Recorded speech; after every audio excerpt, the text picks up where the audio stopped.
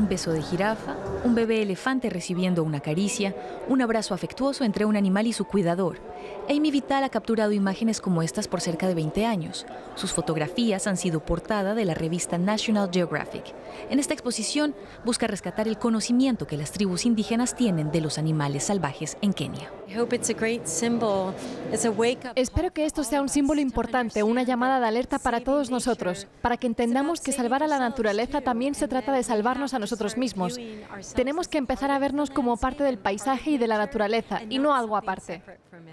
Para fotografiar la vida salvaje sin correr riesgos es necesario ser recursivo. Gracias al Beetle Cam, Will Burrett Lucas ingenió una manera de tomar fotos. Con este ángulo a ras de piso resalta el tamaño de estos paquidermos. Sus colmillos pesan hasta 50 kilos. La serie Land of Giants es un retrato de los elefantes que viven en la reserva keniana de Tsavo. En el mundo solo quedan 20 ejemplares de esta especie en libertad. Ese impacto emocional que puede tener una imagen creo que es una manera importante de comunicar. Es parte de la comunicación, puede hacer que las imágenes atraigan la atención de la gente y luego usar también la palabra para educar a la gente y para que quizás decida actuar. Para lograr una buena foto hay que armarse de paciencia, venir al mismo lugar durante semanas para que el animal se familiarice con el fotógrafo.